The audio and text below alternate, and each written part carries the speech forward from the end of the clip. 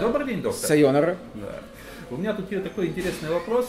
Э, Тут недавно у нас случилось некое событие. Брутальные господа байкеры рассекали по Москве во главе с господином хирургом, который Да-да-да, чедрал да-да, зубы, да, как да. говорят, вот, да, э, да. с шариками с надписью «Христос Да, воскрес». да-да-да. Мне вот интересно твое мнение, что ты думаешь по поводу этого? Моя жена гениально назвала этот процесс православные гонки. Ух ты. Да, да. Что я думаю? Э, Я хочу процитировать свой маленький стишок. Э, «Кладу поклон судьбе сестрицы за то, что в ней полно чудес. Бродяжат бесы по столице, скандируя «Христос воскрес». Вот мое отношение к этому.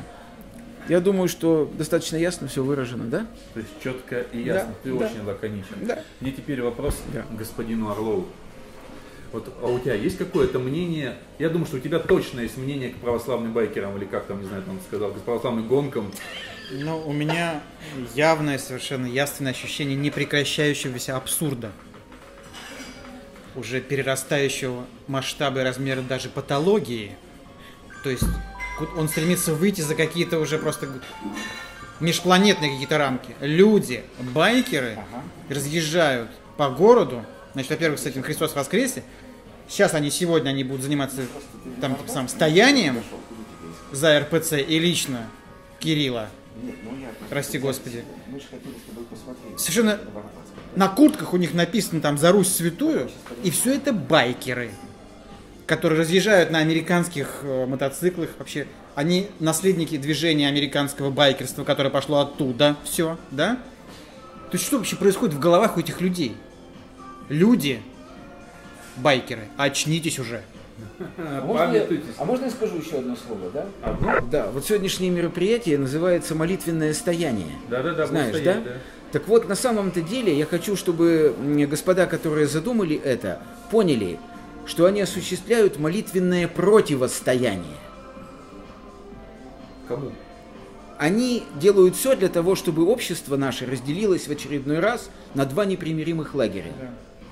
Поэтому не стояние это, господа, это противостояние.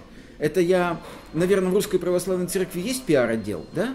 Ну да, даже, Да. даже если руководитель И мы идет. знаем, Да, сколь эффективно он Да, работает. да. Так вот, господа пиарщики, вы что ли, когда что-то называете, вы бы что ли хоть мыслительный Звонили процесс, мыслительный процесс подключили бы что ли, а? Бог в помощь. И еще одно слово. Ты. Да. Значит, говоря, ну просто невозможно остановиться, говоря о том, что развивая мысль Юры, что это противостояние. Вот если бы это было примирение со стороны людей, э, ратующих за РПЦ, за эти иде- идеалы религии вообще в целом, вот если бы они сделали шаг навстречу, примирение, а не противостояние, не стояние, не нужно защищать церковь и патриарха, они достаточно защищены. К сожалению, так защищены государством, которое не должно этим заниматься. От паствы. Что дальше некуда уже. От паствы, совершенно верно. Вот если бы эти люди искали примирения, да, пытались достучаться как бы до сердец тех, кто кажется им оппонентами церкви, в этом был бы хоть какой-то смысл. Они привели бы место священника сегодня, как мне кажется, и паствы его у стен той тюрьмы, где сидят девушки из Пусирая. Да, и в, и в зале того Прийти суда... туда, встать на колени с плакатами, совершенно. выпустите на свободу. Да. Вот место священника.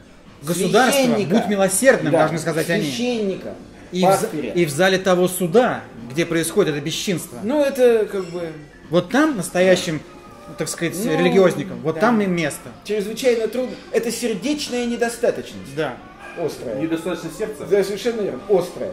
Но вообще, как не дико это звучит, я, я даже рад тому, как все разделилось. Ну, как совершенно как верно, стало ну. ясно всем, даже Да. тем, кто был далек от этой тематики, Да. что такое на самом деле э, руководство РПЦ и очень многие э, верующие сами по себе, кто требует жажды крови, кто жаждет всего этого.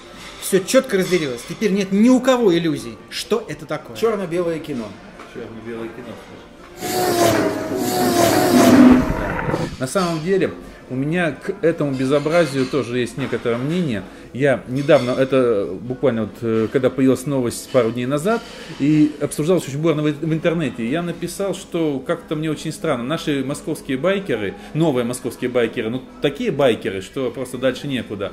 Э, и в какие-то странные все время события они спрягаются, какие-то, не знаю, там автомобили, продвижение каких-то автомобилей Да, совместно да, с премьером. Вот. И теперь вот это вот тоже странное катание. Но как-то не свойственно. Все-таки мне сразу же хочется куда-то назад, домой, туда, в конец 80-х, когда байкеров еще называли рокерами. Да. Вот. И за ними гонялась милиция, и было маленько все по-другому. У них были другие цели и другие желания. Я ничего против этих хирургов не имею. На самом деле хорошее дело, когда сам мотоцикл, я сам это дело жутко когда-то любил, пока не совсем не стал как крот. Вот. Э, И сейчас просто для меня, наверное, дикость, когда, по сути, протестное движение в виде рокеров, то есть я имею в виду сейчас не, не байкеров Да-да-да. именно, а рок-музыкантов, Да. некоторых видов рокеров, некоторых видов рокеров, э, байкеры и всевозможные хиппи начинают поддерживать то, что в принципе противно самой идеологии данного движения. Байкеров, рокеров, хиппи, э, художников, кого угодно. Вот это мне как-то... Прикормленные бунтари. Да, вот это мне странно. Вот на этом хаос.